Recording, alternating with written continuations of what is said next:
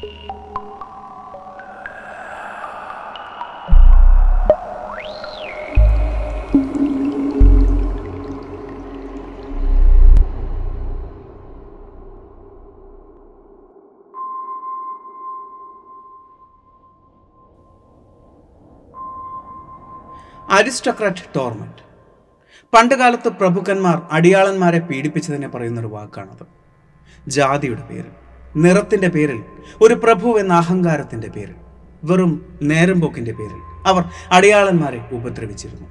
അത്തരത്തിൽ ഒരുപാട് കഥകൾ നമ്മൾ കേട്ടിട്ടുണ്ട്. എന്നാൽ അത്തരം കഥകളിൽ ഏറ്റവും ഭീകരമെന്ന് എനിക്ക് തോന്നിയ ഒരു കഥയെക്കുറിച്ചാണ് നമ്മൾ ഇന്നിവിടെ പറയാൻ പോകുന്നത്. ആഢ്യത്വം എന്ന ഭ്രാന്ത തലയിൽ കയറി തന്റെ നൂറ്റി മുപ്പത്തൊമ്പത് സേവകരെ നിഷ്കരവും പീഡിപ്പിച്ച് വധിച്ചു കളഞ്ഞ ഒരു സ്ത്രീയുടെ കഥ. കയറിപ്പോരൻ ചങ്ങായിമാരെ ബേപ്പൂർ സുൽത്താന്റെ ദുനിയാവിലേക്ക്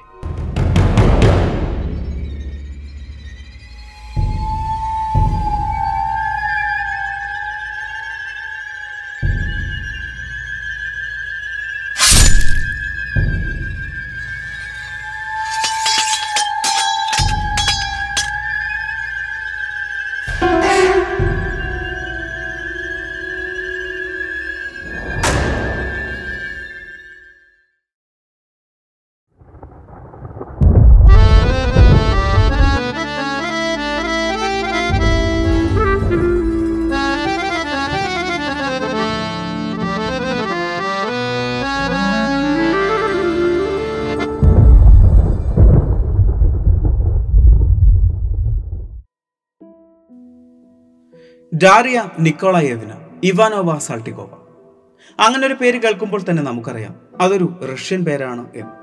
അതെ ആയിരത്തി എഴുന്നൂറ്റി മുപ്പതിൽ റഷ്യയിലെ മോസ്കോയിൽ ഒരു പ്രഭു കുടുംബത്തിലാണ് ഡാരിയ ജനിക്കുന്നത്. അന്ന് കാലത്തെ ധനിക കുടുംബങ്ങളിൽ ഒന്നിലായിരുന്നു ഡാരിയ ജനിച്ചത്.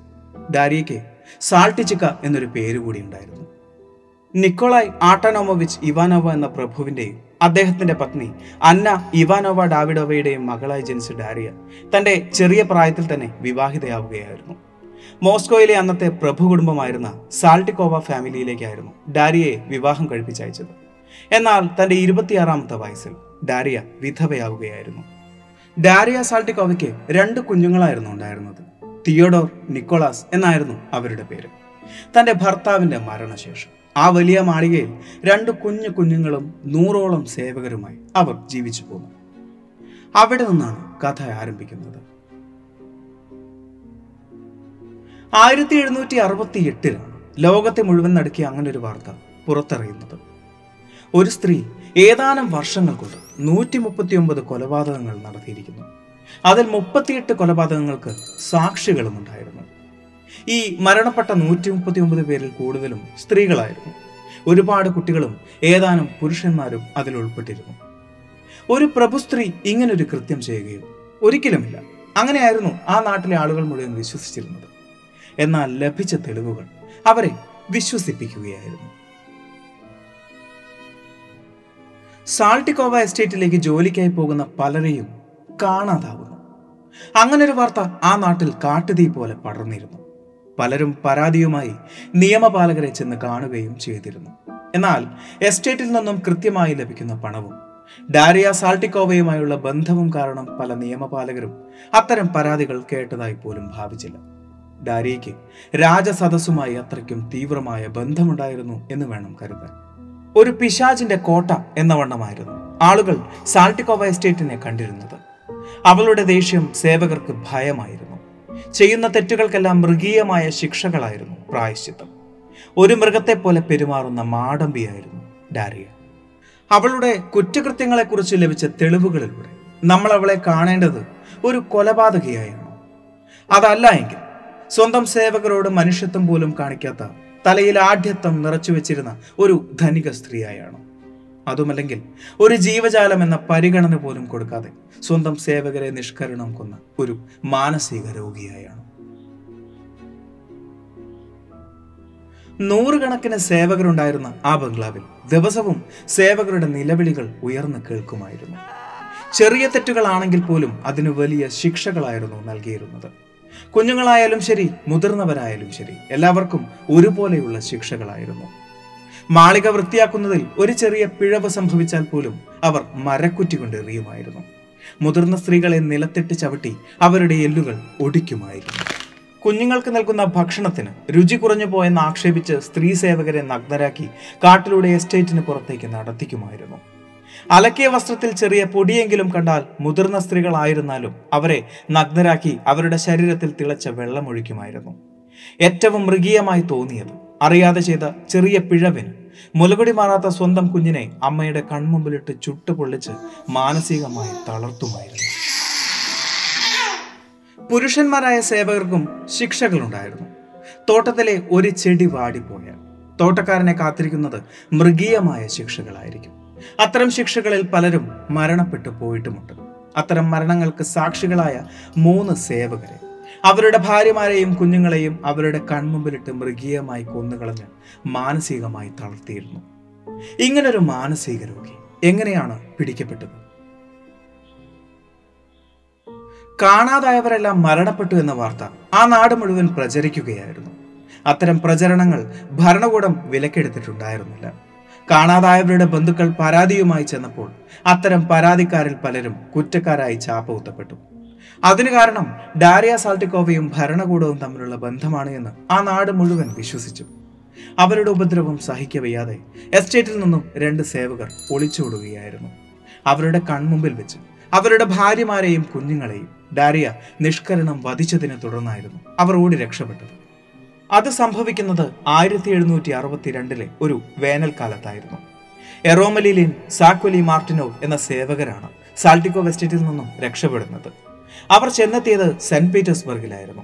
അന്ന് അവിടം ഭരിച്ചിരുന്ന ചക്രവർത്തിനിയായിരുന്നു കാതറിൻ. പലായനം ചെയ്തെത്തിയ സേവകർ തങ്ങളുടെ പരാതികൾ ചക്രവർത്തിനിയോട് കരഞ്ഞു പറഞ്ഞു. പരാതികൾ മുഴുവൻ കേട്ട ശേഷം അവർ കൂടുതൽ അന്വേഷണത്തിന് ഉത്തരവിടുകയായിരുന്നു. ഡാരിയ സാൾട്ടിക്കോവ എന്ന പിശാചിനിക്ക് ശിക്ഷ നൽകുക എന്നതിനേക്കാൾ അത് പ്രജകൾക്ക് നിയമപരമായ ഒരു താക്കീതായി മാറണം എന്നായിരുന്നു ചക്രവർത്തിനിയുടെ ഉദ്ദേശം. അതുകൊണ്ട് തന്നെ ഡാരിയ സാൾട്ടിക്കോവയെ പരസ്യമായി വിചാരണ ചെയ്യാൻ അവർ ഉത്തരവിടുകയായിരുന്നു. ഡാരിയ തുറങ്കിലടയ്ക്കപ്പെട്ടു. നീണ്ട ആറു വർഷത്തെ അന്വേഷണങ്ങൾ കൊണ്ടാണ് അവർ ചെയ്ത ചില തെറ്റുകൾക്കെങ്കിലും തെളിവുകൾ കണ്ടെത്താൻ സാധിച്ചത്.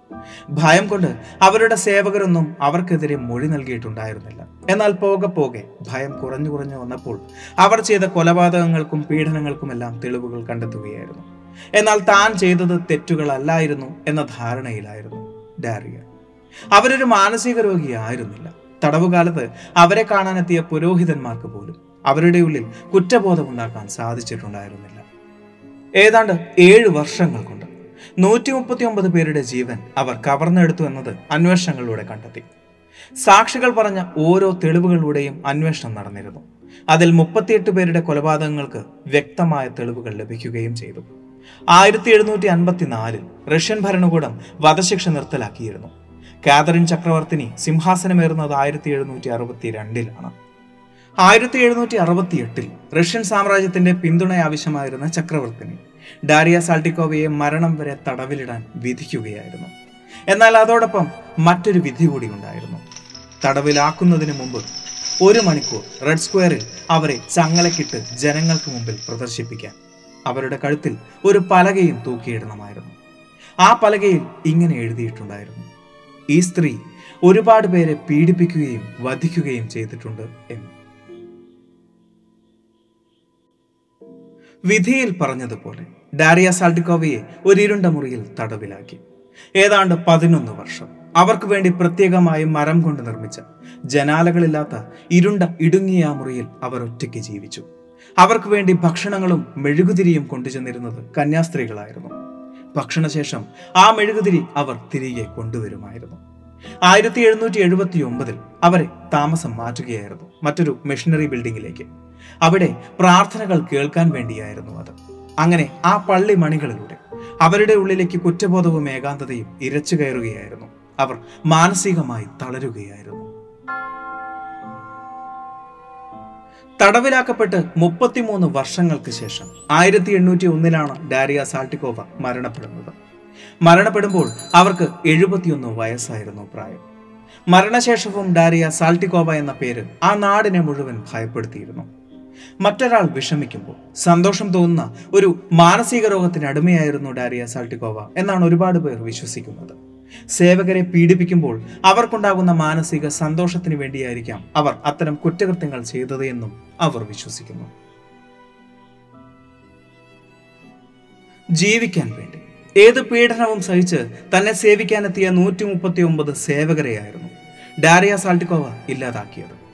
ആ നൂറ്റി മുപ്പത്തി ഒമ്പത് പേർക്കും കുടുംബങ്ങൾ ഉണ്ടായിരുന്നു ആ നൂറ്റി മുപ്പത്തി ഒമ്പത് പേർക്കും കുഞ്ഞുങ്ങൾ ഉണ്ടായിരുന്നു അതൊന്നും ഓർക്കാതെയായിരുന്നു ആ മാടമ്പി അവരെ ഇല്ലാതാക്കിയത്. അതിന് കാലം അവർക്ക് മാപ്പ് കൊടുത്തില്ല. ജാതിയുടെയും മതത്തിന്റെയും നിറത്തിന്റെയും പേരിൽ മനുഷ്യനെ മാറ്റി നിർത്തുന്ന. വെറുപ്പോടെ വേർതിരിച്ചു നിർത്തുന്ന ഡാരിയ സാട്ടിക്കോവമാർ ഇന്നും നമുക്കിടയിലുണ്ട്.